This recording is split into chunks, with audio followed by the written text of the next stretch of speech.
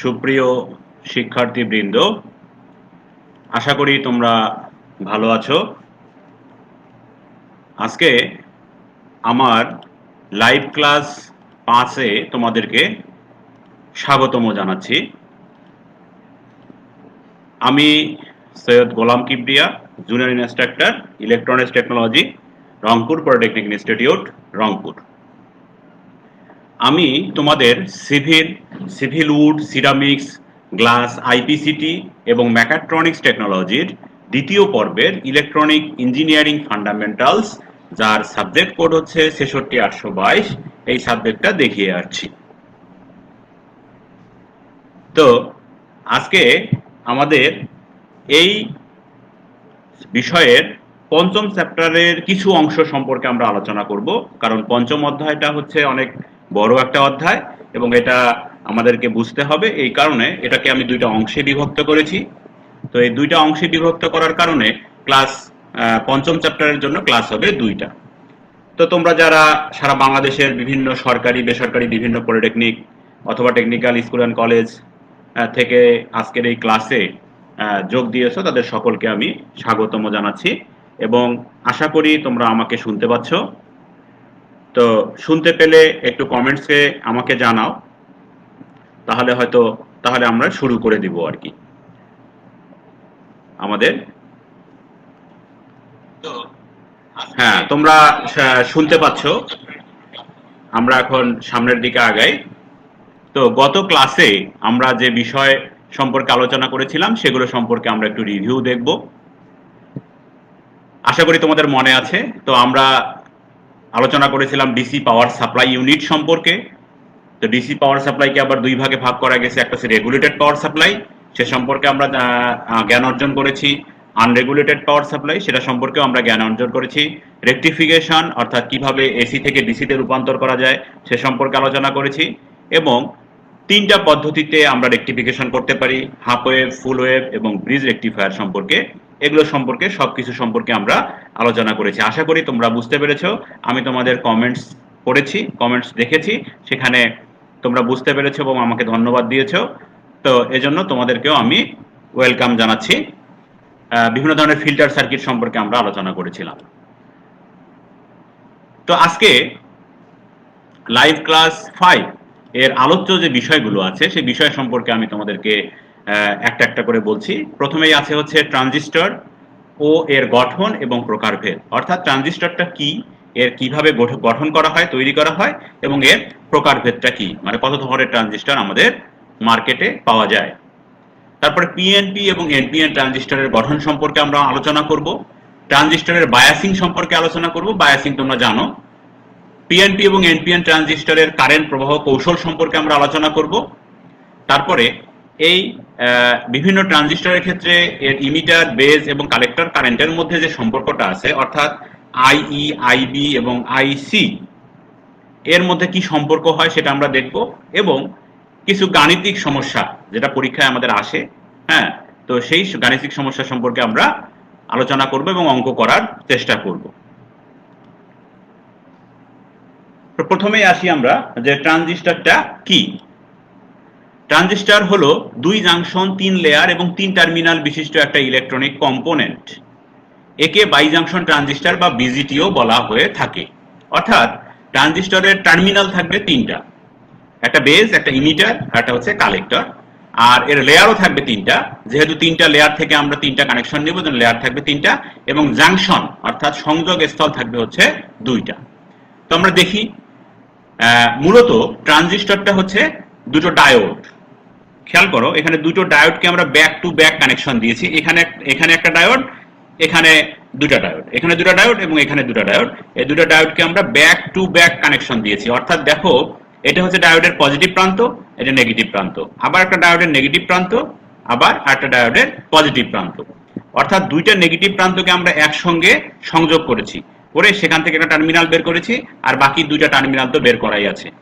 তাহলে খেয়াল করে দেখো, এটা পজিটিভ অংশ, অর্থাৎ পি এটা, আর এই দুইটা হচ্ছে নেগেটিভ অংশ, এটা হচ্ছে এন আর এটা হচ্ছে পজিটিভ অংশ, এটা হচ্ছে পি তাহলে এটা হচ্ছে পি এন পি ট্রানজিস্টর এই পিএনপি ট্রানজিস্টরের গঠনটা হচ্ছে এরকম, আর এনপিএন ট্রানজিস্টরের গঠনটা দেখো এনপিএন অর্থাৎ ডায়োড ডায়োড দুটাকেও এই দুটো ডায়োডকেও আমরা ব্যাক টু ব্যাক কানেকশন করেছি। দুটো পজিটিভ টার্মিনালকে আমরা একসঙ্গে করে সেখান থেকে একটা টার্মিনাল নিয়েছি, আর দুটা নেগেটিভ টার্মিনালকে আমরা আলাদা আলাদা ভাবে বের করে নিয়েছি। তাহলে এটা যেহেতু নেগেটিভ টার্মিনাল এটা এন এটা যেহেতু পজিটিভ টার্মিনাল এটা পি এটা যেহেতু নেগেটিভ টার্মিনাল এটা হচ্ছে এন আচ্ছা। এখন দেখো, আমরা বইয়ে পড়াশোনা করার সময় দেখব আর কি, যে এইরকম একটা সিম্বল দেখা যায়। তো এটা হচ্ছে একটা সিম্বল এটা কিসের সিম্বল ট্রানজিস্টরের সিম্বল আমি বলছি এখানে খেয়াল করো, তিন টার্মিনাল বিশিষ্ট। টার্মিনাল কয়টা? একটা, দুইটা, তিনটা। একটা হচ্ছে ইমিটার একটা হচ্ছে বেজ একটা হচ্ছে কালেক্টর এখানে খেয়াল রাখতে হবে ইমিটারে সবসময় একটা তীর চিহ্ন দেওয়া থাকবে। এই তীর চিহ্নের উপর ভিত্তি করেই আমরা বলতে পারব যে এই ট্রানজিস্টরটা পিএনপি ট্রানজিস্টর নাকি এনপিএন ট্রানজিস্টর। এখানে বি দ্বারা বেসকে বোঝানো হয়েছে সি দ্বারা কালেক্টরকে বোঝানো হয়েছে। কালেক্টর থেকে আমরা সাধারণত আউটপুট নিয়ে থাকি, আর ই দ্বারা ইমিটারকে বোঝানো হয়েছে। বোঝা গেছে? এখন এই ট্রানজিস্টর গুলোকে আমরা বাজারে বিভিন্নভাবে পেতে পারি, বিভিন্ন ফরম্যাটে পাই। এই যে এটা হচ্ছে একটা ট্রানজিস্টর, এটাও একটা ট্রানজিস্টর, এটাও হচ্ছে একটা ট্রানজিস্টর। তোমাদের এগুলো পরিচিত, যে কোনো সার্কিটের মধ্যে দেখবা যে এই কম্পোনেন্টগুলো দেওয়া আছে। তো ট্রানজিস্টর কি, সে সম্পর্কে তো আমরা জানলাম। এরপরে আসি আমরা ট্রানজিস্টরের প্রকারভেদ। ট্রানজিস্টরকে সাধারণত দুই ভাগে ভাগ করা যায়। আমি এর আগে বলেই ফেলেছি তোমাদেরকে যে একটা হচ্ছে পিএনপি ট্রানজিস্টর আর একটা হচ্ছে এনপিএন ট্রানজিস্টর তো আসি আমরা এখন পিএনপি ট্রানজিস্টরটা কীভাবে তৈরি করা যায় বা পিএনপি ট্রানজিস্টরটা কাকে বলে? দুটি পি টাইপ সেমিকন্ডাক্টরের যখন একটি এন টাইপ সেমিকন্ডাক্টরের দ্বারা আলাদা করা হয়, তখন যে ট্রানজিস্টর তৈরি করা হয়, তাকে বলা হচ্ছে পিএনপি ট্রানজিস্টর অর্থাৎ দুইটা পি টাইপের মাঝখানে যখন একটা এন টাইপের সেমিকন্ডাক্টর থাকবে তখন যে ট্রানজিস্টর তৈরি হবে, তাকে বলা হবে আমাদের পিএনপি ট্রানজিস্টর। ক্লিয়ার একই রকম ভাবে এনপিএন ট্রানজিস্টরের ক্ষেত্রে কি হবে দেখো? দুটা এন টাইপ সেমিকন্ডাক্টর যখন একটা পি টাইপ সেমিকন্ডাক্টর দ্বারা আলাদা করা হবে, তখন যে ট্রানজিস্টরটা তৈরি হয় তাকে বলা হচ্ছে এনপিএন ট্রানজিস্টর। অর্থাৎ দুইটা এন টাইপ সেমিকন্ডাক্টরের মাঝখানে একটা পি টাইপ সেমিকন্ডাক্টর দিলে সেখানে আমরা তৈরি হবে এনপিএন ট্রানজিস্টর। আচ্ছা এখন আমরা দেখি আসলে পিএনপি ট্রানজিস্টরটা কি রকম পিএনপি ট্রানজিস্টরটা তোমরা খেয়াল করো, দেখো পিএনপি দুইটা যেহেতু পি এজন্য দুটো একই রকমের রং এরা আমি দিয়েছি। আর এনটা হচ্ছে আলাদা, অর্থাৎ বেস দেখো, এটা হচ্ছে বেস এটা ইমিটার এটা হচ্ছে কালেক্টর এটা হচ্ছে মূলত কনস্ট্রাকশন একটা পিএনপি ট্রানজিস্টরের গঠন। এখানে একটা মজার বিষয় আছে, দেখো, এই পিএনপি ট্রানজিস্টরের সিম্বলটা কি রকম সিম্বল কিন্তু পিএনপি এবং এনপিএন ট্রানজিস্টরের সিম্বল দুটা কিন্তু একই রকম। একটা হচ্ছে ইমিটার একটা বেজ একটা হচ্ছে কালেক্টর এখন পার্থক্যটা হচ্ছে শুধুমাত্র এই তীর চিহ্নের মধ্যে। যদি এই তীর চিহ্নটা ভিতরের দিকে দেখানো থাকে, তাহলে অবশ্যই সেটা হবে পিটা পিএনপি ট্রানজিস্টর তোমরা মনে রাখতে পারো পি থেকে প্রবেশ, অর্থাৎ প্রবেশ, ভিতরের দিকে প্রবেশ করছে, তাহলে এটা পিএনপি ট্রানজিস্টর এটা একটু মাথায় রাখলেই তোমরা এটা সহজেই এটা আইডেন্টিফাই করতে পারবে কোনটা পি টাইপ সেমিকন্ডাক্টর এবং কোনটা এন টাইপ সেমিকন্ডাক্টর পিএনপি ট্রানজিস্টরগুলো সাধারণত দেখতে এরকম হয়। এখানে আমি তোমাদেরকে একটা পিএনপি ট্রানজিস্টর দেখিয়েছি। সেই পিএনপি ট্রানজিস্টরটা হচ্ছে M J E one five zero three three এই নাম্বারের একটা পিএনপি ট্রানজিস্টর এই পিএনপি ট্রানজিস্টরের বেজ ইমিটার কালেক্টর তিনটা আমার টার্মিনাল আমি এখানে দেখতে পাচ্ছি। তবে এই জিনিসটা অবশ্যই খেয়াল রাখতে হবে তোমাদের যে সিম্বলের ক্ষেত্রে কোনটা পিএনপি এবং কোনটা এনপিএন একই মানে একবারেই অ্যাট এ গ্লেন্স তোমাদেরকে বলতে হবে যে এটা পিএনপি ট্রানজিস্টর এটা হচ্ছে এনপিএন ট্রানজিস্টর তো এনপিএন ট্রানজিস্টরের ক্ষেত্রে আমরা দেখি যে একই রকম ভাবে খেয়াল করো যে ইমিটার বেস কালেক্টর তার মানে এটা কি এন টাইপ সেমিকন্ডাক্টর এটা এন টাইপ সেমিকন্ডাক্টর এটা পি টাইপ সেমিকন্ডাক্টর এখানে একটু খেয়াল করো যে এখানে কালেক্টরটাকে একটু বড় দেখানো হয়েছে, ইমিটারের চেয়ে। তো কালেক্টর থেকে আমরা সাধারণত আউটপুট নিয়ে থাকি, বিধায় এই কালেক্টরটা সাধারণত বড় হয়ে থাকে আর কি। তো এটা তোমরা মনে রাখবা। এখন দেখো, এর আগের যে আমি থিওরিটা তোমাদেরকে দিলাম, সেই থিওরিটা দেখো, এইটার তীর চিহ্নটা বাহিরের দিকে। এটা কিন্তু ভিতরের দিকে নয়, কারণ এই সিম্বলটা হচ্ছে কিসের? এনপিএন ট্রানজিস্টরের ক্ষেত্রে। তাহলে এই তীর চিহ্নটা যখন বাইরের দিকে দিব আমরা, তখন সেটা কি হবে? NPN transistor.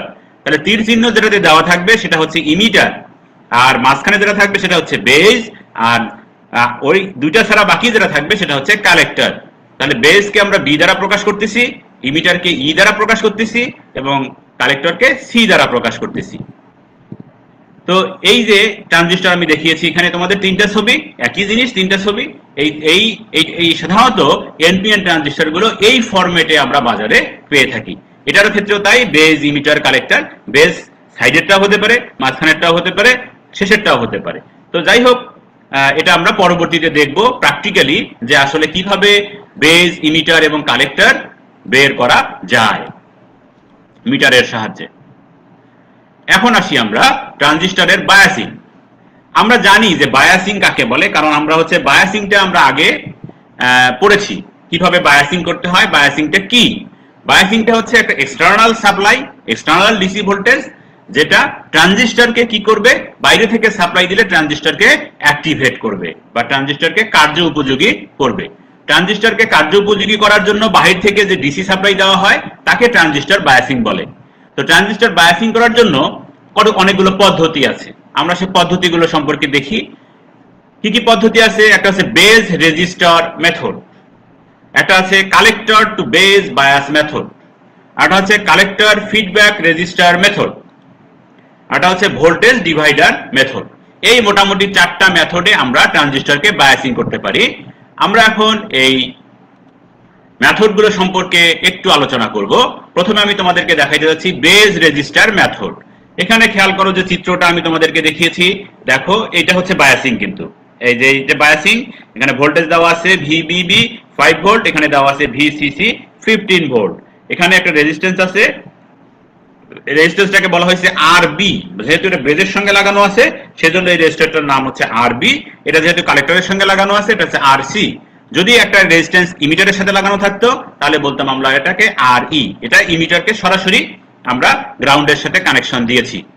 দেখো, বেজ রেজিস্টার বেজের সাথে একটা রেজিস্টার দিয়ে আমরা ভোল্টেজ যখন সাপ্লাই দিব, তখন সেটাই হচ্ছে আমাদের বেজ রেজিস্টার মেথড এরপর হচ্ছে কালেক্টর টু বেজ মেথড খেয়াল করে দেখো, এটা হচ্ছে কালেক্টর ট্রানজিস্টরের এটা হচ্ছে ইমিটার এটা সরাসরি গ্রাউন্ড এটা হচ্ছে কালেক্টর কালেক্টরের সাথে লোড লাগানো আছে। কালেক্টর থেকে একটা রেজিস্ট্যান্স দিয়ে আমি বেজকে বায়াসিং করেছি। এজন্য এটার নাম হচ্ছে collector to base bias method এরপর আসি আমরা দেখো কালেক্টর ফিডব্যাক রেজিস্টার মেথড এটা কীভাবে হতে পারে? দেখো এটা একই রকম আগেরটার মতোই অনেকটা। জাস্ট ফিডব্যাক বলা হয়েছে যে ফিডব্যাক বলতে বোঝাচ্ছে যে আউটপুটের কিছু অংশ পুনরায় নতুন করে ইনপুটে দেওয়া। দেখো এটা হচ্ছে আউটপুট আরসি এখানে লোড রেজিস্ট্যান্স লাগানো হয়ে থাকে সাধারণত। এখান থেকে একটা রেজিস্টার দিয়ে আমি বেসকে কালেকশন দিয়েছি। এই জন্য এটাকে বলা হচ্ছে কালেক্টর ফিডব্যাক রেজিস্টার মেথড এরপরে যেটা আছে আমাদের এটা আহ, অনেক পপুলার মেথড সাধারণত আমরা এই মেথডেই কাজ করে থাকি।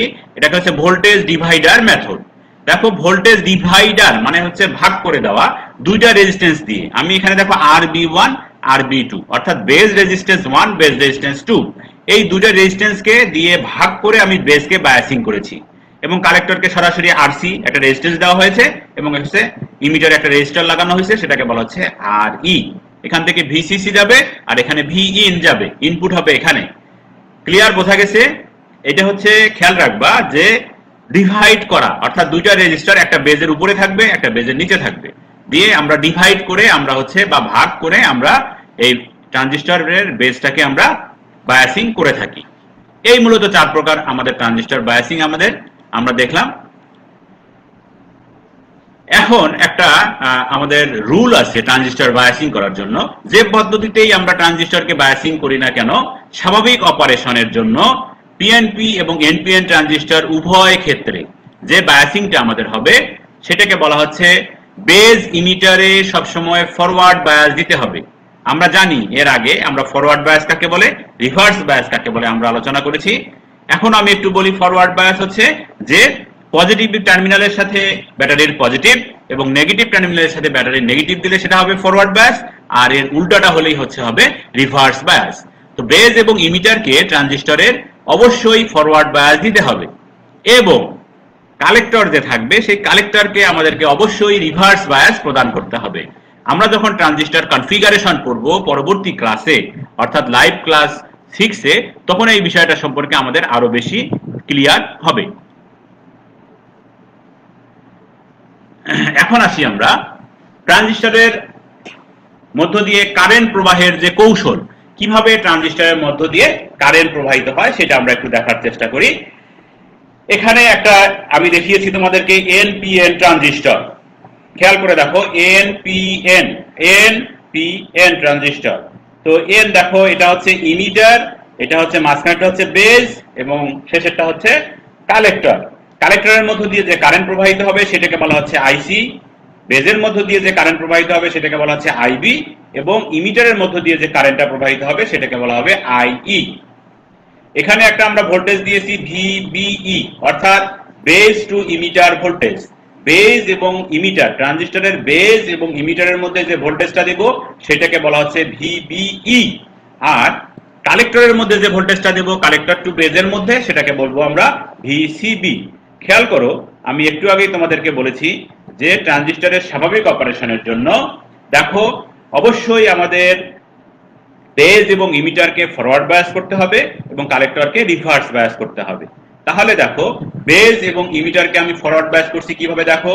এটা হচ্ছে এনটা এন টাইপ সেমিকন্ডাক্টর ব্যাটারির এন নেগেটিভ টার্মিনাল আর বেজের এটা হচ্ছে পজিটিভ এটা হচ্ছে আমি পজিটিভ কানেকশন দিয়েছি ব্যাটারির তাহলে এটা কি হলো? ফরওয়ার্ড বায়াস আর দেখো এটা কালেক্টরের এখানে আছে নেগেটিভ কিন্তু ব্যাটারির কানেকশন দিয়েছি আমি পজিটিভ তাহলে এটা কি হলো? রিভার্স বায়াস কিন্তু। ক্লিয়ার আচ্ছা। আচ্ছা আমরা এখন দেখি, আমি এই কথাগুলোই তোমাদের এখানে দেখানোর চেষ্টা করেছি। এনপিএন ট্রানজিস্টরের কারেন্ট প্রবাহ দেখানো হয়েছে। বেজ ইমিটারে ফরওয়ার্ড বায়াস ভিবি দেওয়া হয়েছে এবং কালেক্টর বেজে রিভার্স বায়াস ভিসিবি প্রদান করা হয়েছে। ভিবিই ফরওয়ার্ড বায়াস হওয়ার কারণে আইই অধিক পরিমাণে প্রবাহিত হবে। যেহেতু ভিবিই বেস টু ইমিটারের ভোল্টেজটা ফরওয়ার্ড সেহেতু আমরা এখানকার যে কারেন্টটা প্রবাহিত হবে ইমিটার কারেন্ট এটা অবশ্যই অনেক বেশি পরিমাণে প্রবাহিত হবে। অপর পক্ষে দেখো বেজ স্তরটি হালকা ডোপিং করা থাকে এবং পি টাইপ হওয়ার কারণে খুবই কম কারেন্ট আইবি বা বেজ কারেন্ট খুব কম প্রবাহিত হবে। ক্লিয়ার এখন দেখা যাক বেস পয়েন্টে এখানে বি এই বেস পয়েন্টে যদি আমরা কাশ্যপসের কারেন্ট ল প্রয়োগ করি বা কেসিএল প্রয়োগ করি, এটা তোমরা আগে জানো কেসিএল সম্পর্কে ইলেকট্রিক্যাল সাবজেক্টে তোমরা পড়েছো। তো কেসিএল প্রয়োগ করলে আমরা এখানে পাবো IE equal to IB plus IC অর্থাৎ ইমিটারের, emitter current equal to base current plus collector current clear এই মোটামুটি আমি তোমাদেরকে এনপিএন ট্রানজিস্টর দিয়ে এটা দেখানোর চেষ্টা করেছি। বাকি যে অংশটা তোমরা তোমাদের বই টেক্সট বুক আছে, বই থেকে দেখলে তোমাদের ক্লিয়ার হবে এবং এই কোশ্চেনটা পরীক্ষায় আসতে পারে। তোমরা এটা মনোযোগ সহকারে খেয়াল করবে। এখন আমরা দেখি যে কিছু কিছু ম্যাথমেটিক্যাল টার্ম যেগুলো আমাদের পরীক্ষায় আসে। আমি একটা তোমাদেরকে অঙ্ক করানোর চেষ্টা করতেছি। একটা অঙ্কটা দেখাই তোমাদেরকে।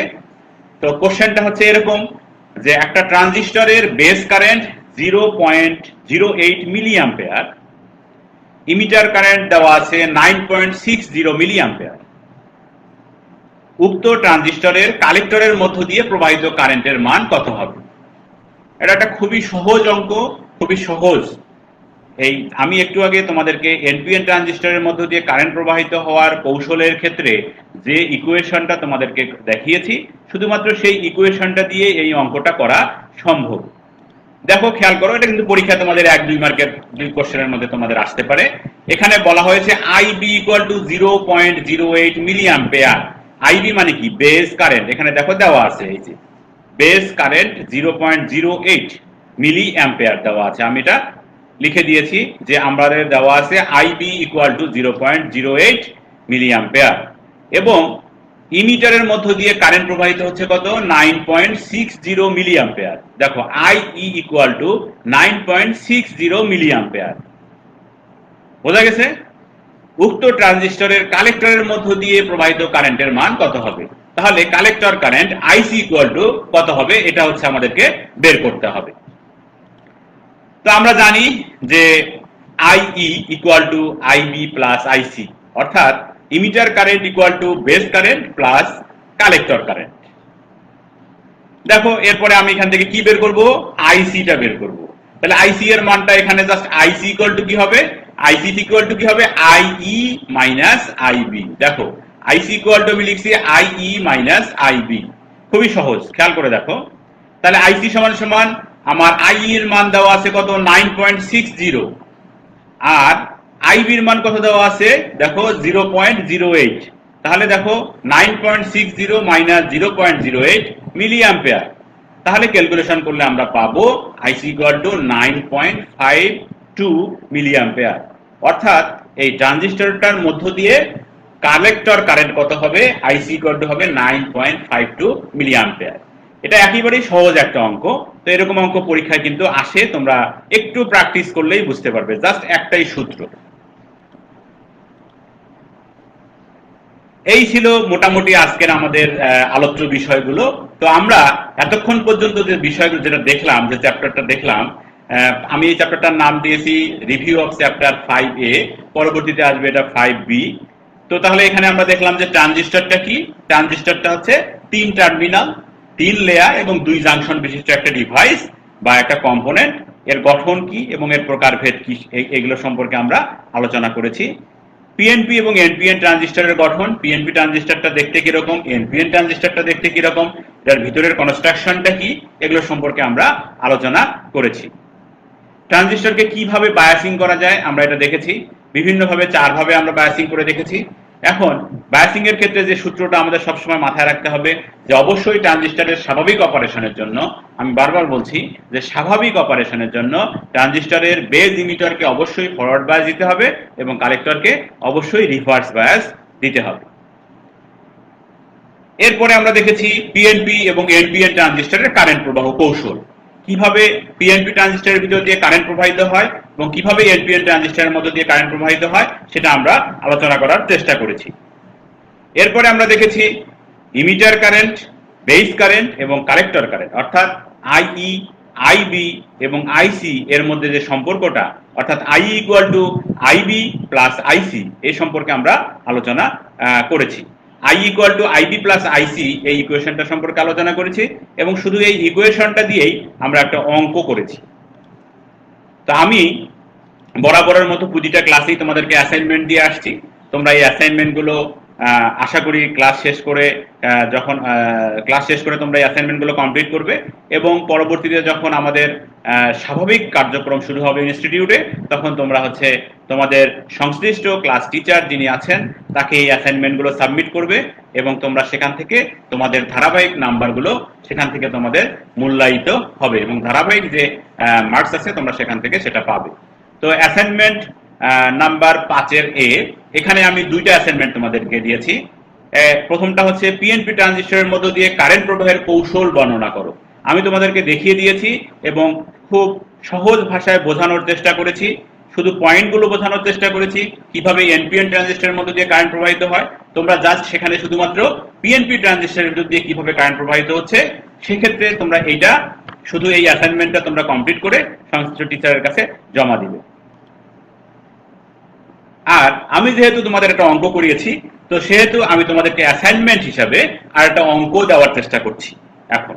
এই অঙ্কটা তোমরা কমপ্লিট করবে, করে জমা দিবে। একটি ট্রানজিস্টরের collector current five point two five milli ampere অর্থাৎ আইসি কালেক্টর কারেন্ট ট্রানজিস্টরের আইসি এর মান দেওয়া আছে কত? Five point two five milli ampere এবং ইমিটার কারেন্ট দেওয়া আছে ten point five zero milli ampere অর্থাৎ ইমিটারের মধ্য দিয়ে যে কারেন্টটা প্রবাহিত হবে আই ইকুয়াল টু দেওয়া আছে ten point five zero milli ampere উক্ত ট্রানজিস্টরের বেজের মধ্য দিয়ে প্রবাহিত কারেন্টের মান কত হবে? অর্থাৎ আইবি ইকুয়াল টু কত হবে? এই মানটা তোমাদেরকে বের করতে হবে। তাহলে তোমরা অঙ্কটা কীভাবে করবে? একই রকম ভাবে আমি যেভাবে দেখিয়ে দিয়েছি, এখানে দেয়া আছে কালেক্টর কারেন্ট অর্থাৎ IC equal to five point two five milli ampere emitter current I equal to দেওয়া আছে ten point five zero milli ampere আর তোমাদেরকে বের করতে হবে ট্রানজিস্টরের মধ্যে দিয়ে বেস কারেন্ট অর্থাৎ আই বি ইকুয়াল টু কত হবে সেটা বের করতে হবে। তাহলে আমরা তো জানি, এরপরে হচ্ছে আমরা সূত্রটা লিখব যে I equal to IB plus IC তাহলে এখান থেকে আমি আইবি সমান সমান কি পাবো সেটা আমরা বের করে ফেলব। এটাই এতটুকুই তোমাদের হচ্ছে কাজ অ্যাসাইনমেন্ট এইটা। তো অবশ্যই তোমরা এটা হচ্ছে কমপ্লিট করবে। কমপ্লিট করে সংশ্লিষ্ট শিক্ষককে জমা দিবে। তোমাদের মধ্যে প্রশ্ন উত্তর যদি কারও কিছু থাকে, আমি প্রশ্ন উত্তরটা একটু দেখার চেষ্টা করতেছি। হ্যাঁ? যে প্রশ্ন উত্তর যেগুলো আছে, আমি আমার মেইল না অ্যাড্রেস দেওয়া আছে। তোমরা অনেকে এখান থেকে মেইলেও করেছ আমার কাছে আমার কাছে ভালো লেগেছে।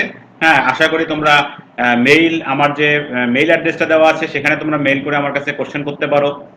অথবা সরাসরি এখানে কমেন্টসের মাধ্যমে কোশ্চেন করতে পারো, যে আমি ওখান থেকে বাছাই করে যে কোশ্চেনগুলোর অ্যান্সার দেওয়ার মতো, সেই অ্যান্সারগুলো আমি পরবর্তী ক্লাসে তোমাদেরকে দেব।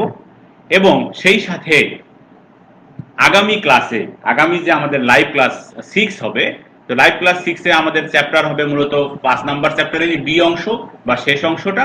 তো এই লাইভ ক্লাস ছয়ের যে আলোচ্য বিষয়গুলো আছে, তোমরা একটু খালি বইটা খুলে দেখে আসবা। তাহলেই পরবর্তী ক্লাসগুলো খুব সহজেই বুঝতে পারবে, আশা করি।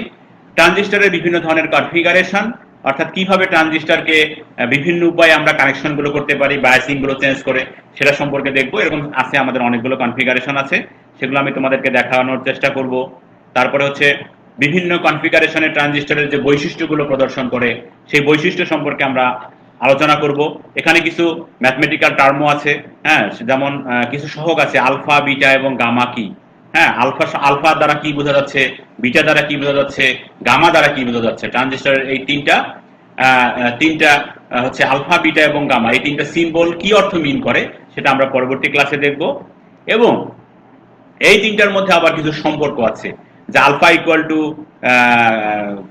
something beta beta equal to something gamma. অর্থাৎ আলফা, বিটা এবং গামা। এই তিনটার মধ্যে একটা খুব সুন্দর একটা সম্পর্ক আছে, যেটা সাধারণত পরীক্ষায় আসে। প্রমাণ করো যে আলফা ইকুয়াল টু এত হ্যাঁ? বা বিটা ইকুয়াল টু এত, বা গামা ইকুয়াল টু এত। এটা আমরা নেক্সট ক্লাসে দেখব। তো পরবর্তী ক্লাসটা কিন্তু আজকের ক্লাসটা অবশ্যই ইম্পর্টেন্ট এবং এর চেয়ে আরও বেশি বেশি ইম্পর্টেন্ট হবে পরবর্তী আমাদের লাইভ ক্লাস সিক্স এবং এই আলফা, বিটা, গামা সম্পর্কে আমাদের কিছু গাণিতিক প্রবলেম আমরা করব। সেই গাণিতিক প্রবলেমগুলো পরীক্ষায় তোমাদের আসে। তো তোমরা এগুলো একটু দেখে আসার চেষ্টা করবে। দেখে আসার চেষ্টা করবে। আশা করি তোমরা বুঝতে পারবে। আর এই প্রেজেন্টেশনটা সহ থেকে অন্যান্য আরও যে প্রেজেন্টেশনগুলো আছে, আমার এবং আমাদের ইলেকট্রনিক্স ডিপার্টমেন্টের সেই প্রেজেন্টেশনগুলো তোমরা বারবার দেখতে পারবা যতবার ইচ্ছা ততবার দেখতে পারবা। এটা দেখার জন্য তোমাদেরকে ভিজিট করতে হবে দক্ষতা বাতায়ন অথবা www.skills.gov.bd এখান থেকে তোমরা ভিডিওগুলো ডাউনলোড করে নিয়েও দেখতে পারবা। তো skills.gov.bd দক্ষতা বাতায়নের হোম পেজটা হচ্ছে এরকম। তো আমি এটা ছবি দিয়ে দিয়েছি। আর এই তোমরা যে কষ্ট করে ক্লাস করতেছো হ্যাঁ এই করোনাকালীন সময়ে আমাদের এখন ধীরে ধীরে আরও সংক্রামিত হচ্ছে হ্যাঁ আমরা প্রত্যেকে প্রত্যেকের জন্য দোয়া করব, সকলের জন্য ভালো থাকি, সুস্থ থাকি। তারপর হচ্ছে এই যে তোমাদের বা আমাদের সকলেরই সকলেরই এই ক্লাসগুলো অনলাইনে এই ক্লাসগুলো নেওয়ার জন্য যে টেকনিক্যাল সাপোর্ট দিচ্ছেন আমাদের এটুআই প্রজেক্ট তো এটুআই প্রজেক্টের সকল কর্মকর্তাদেরকে আমি সাধুবাদ জানাই, তাদেরকে আমি ধন্যবাদ জানাই এবং সেই সাথে আমাদের কারিগরি শিক্ষা অধিদপ্তরের এই ধরনের পরিকল্পনা প্রণয়ন এবং তা বাস্তবায়নের জন্য চেষ্টা করার জন্য হ্যাঁ আমি কারিগরি শিক্ষা অধিদপ্তরের সকলকে আন্তরিকভাবে ধন্যবাদ জানাচ্ছি। ধন্যবাদ জানিয়ে আজকের মতো আমি শেষ করছি। সকলকে ধন্যবাদ।